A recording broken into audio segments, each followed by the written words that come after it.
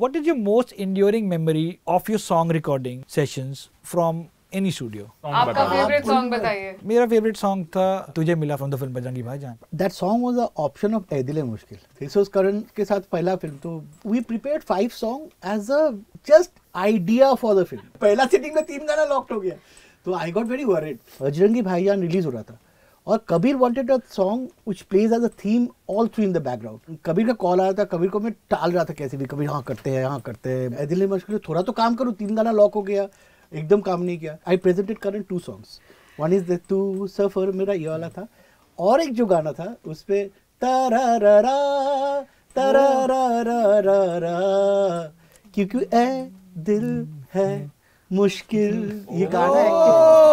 Karan preferred the other song. I came out of the meeting and I was humming in my head and I could I could see the Bajrangi Bhaijaan visuals in my head. I called up from the car only, Kabir, I've got your song.